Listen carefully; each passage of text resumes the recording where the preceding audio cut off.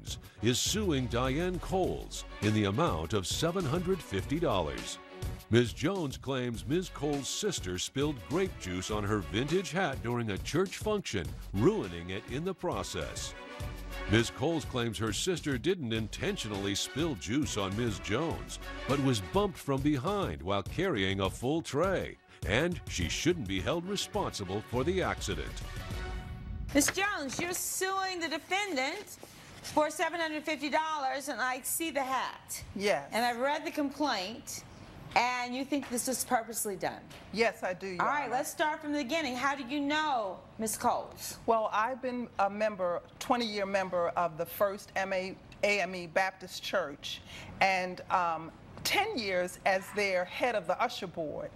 And Sister Coles came into the church five years ago, and she asked me to put her on the usher board, and I told her, in factly, that as soon as there was an opening, I would put her on. I put her on when we had an opening, when, you know, it was proved by the First Lady, and we became fast friends. All right, so you reached out to Sister Jones, and you asked her about being on the usher board. Yes, I was eager. Like I was brought up in the church, so when I came over to the church, I was really eager to be a part. I didn't want to be a pew member. Yeah. As they say, um, I wanted to serve in my church, so I naturally gravitated towards her and wanted to be a part of the ushers ministry. Things are going well. How is it that you all end up in my courtroom today?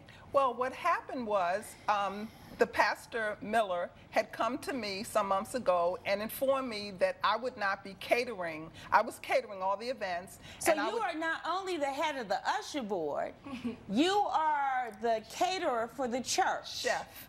Okay, all right. So you are the chef for the church. Yes. So then he uh, said to me that he would not need me this time, that I would not be, yes, I, I said the same thing. I was like, what, what, you know, what is this about? He said that um, it was already changed to someone else cooking for the first annual ladies, uh, First Ladies Annual Brunch that Okay, we do so- every year. So every year there is a special brunch honoring the first lady. Yes. Okay, and the first lady, I know this, but just in case there are other people who may not understand this, the first lady of the church is the pastor's wife. Wife, yes. Okay, all right. And so um, I said, okay. And so then some time passed, and he did ask me, could I still dish out in the meetings that we had, the usher board meetings, the um, responsibilities for that day, other responsibilities. And so when For I the brunch? Yes. Okay. And when I went to do that, um, and I was uh, talking to Sister Coles and telling her, she abruptly got an attitude with me and was like, well, I just, I won't be able to do that because I'm the chef and I'm doing all the cooking and catering for the first annual brunch. So how did you get to be the chief chef Um, caterer so- for the brunch? I pretty much um, started my own company, my own catering business, and I guess they heard about it. I gave I gave Pastor and First Lady Miller a sample of it, and they liked my food, and they wanted to give me the opportunity, um, and you know, let her have the day off. But she did not like that at all. Um, she started acting out. That's not true. I did not act out. No, I did not. I congratulated her and I told, because her Nice, cooking is nasty way. phenomenal. Her cooking is phenomenal. And I told her Well, I was that's very gracious happy of you to for her. say. She said that she paid you a wonderful compliment. She said your cooking is phenomenal. Yeah, she did say that, but it's it's the nice nastiness behind it. Okay, so now we get to the point where you are catering the First Lady's brunch. You've done it all these years, but I'm assuming that you clearly attended. Yes, I did. Okay, so I what attended. happened? And so um, she hired her sister to be the waitress All of right. the brunch. Okay, so are you a member of the church or you were just helping out that No, day? I, I'm not a member of the church. okay, was so I don't need to call that day. you Sister Coles. Okay, No, I just I'm, I'm Paige. Okay, Paige. All right, good. Paige. All right, so you're helping out your sister who's responsible now for the brunch. And you Yes. are a guest? Yes, I'm a guest. All right. Yes. But prior to that, she started to have an attitude and she was showing up late to all of the meetings for the usher board. Oh. Yeah, Yeah, she's the one that had the children that attitude. kept me a little bit late, and I called and tried to tell her that I was going to be late, but she did not pick up the phone or answer any of my text messages. So late for meetings or late for church to serve as an usher? Both. Both. Coming up on Were you jealous that she Very. got the brunch assignment and you'd done it for years and years? No, I wasn't jealous. I will say that I was a little sad, but not jealous. Mm. And then I got over it quickly because I was happy for her because she has the catering business and I knew it was good for her business. So and now let's get to just let's let's get to the day that you claim that her sister, who was basically on her mm-hmm. team of serving at the brunch, Yes. purposely damaged your hat. Tell Yes. me what happened. So what happened in the beginning of that day was her sister kept serving me cold waffles and cold coffee. No, no, no, no. I did no, no, complain. I did no. complain to her. No. And then she would bring it back and it was cold and stale. And then I looked at the Fresh parameter. waffles. Your Honor, that is not true. That is I- true. Let me hear from her. What happened? That is babe? not true. Okay, so I started serving Miss Jones' table, and first. First off, she was being so rude.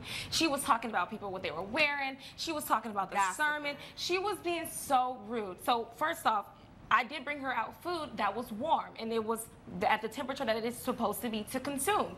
And so she was telling me that this was cold. I know she was picking on me because I know she was bad at my sister. So she was saying, "Oh, this is cold." She tried to keep sending me back to the uh, back to get her more food. And so I just felt like, okay, you know what? Like she's being really, you know, really rude right now.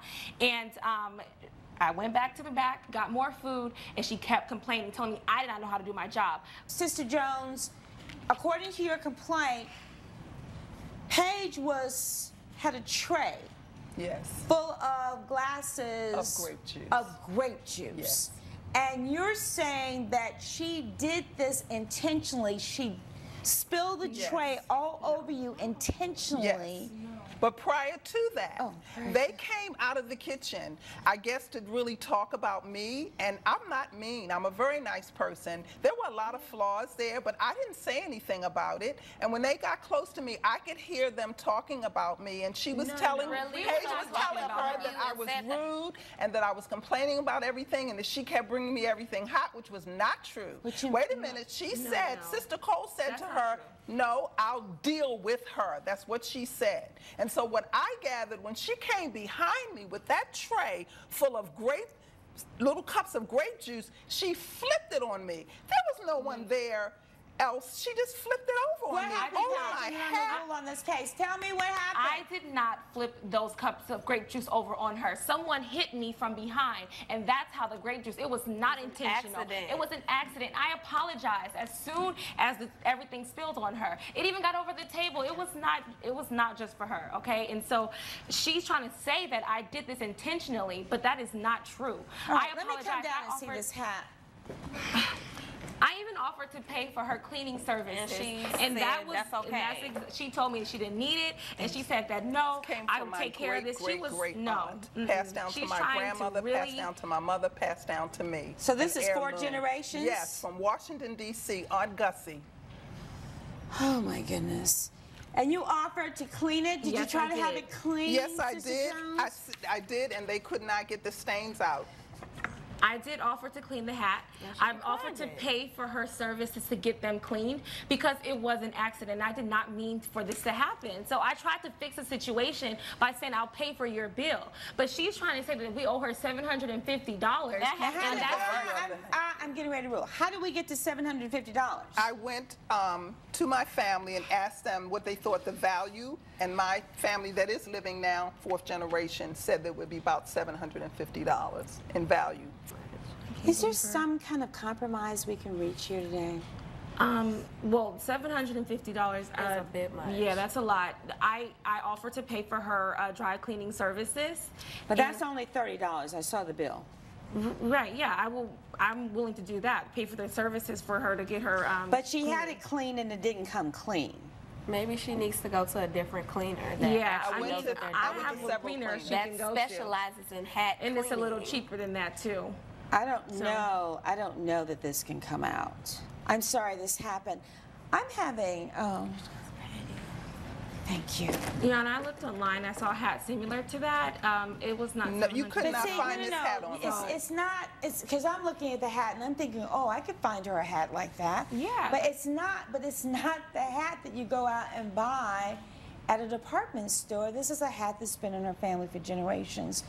Um, I don't think this was necessarily intentional. It was not. It was an accident, but accident. you caused the damage to the hat, and so you aren't going to get Sister Jones every all the amount that you've asked for. But I am, given the fact that it's an heirloom, and given the fact this has been in your family for generations, and I don't think it can be clean. I've looked at it carefully. I am going to award the plaintiff $250. That is the order of the court. We'll stand adjourned. Judge Hatchett has ruled in favor of the plaintiff. The defendant has been ordered to pay $250.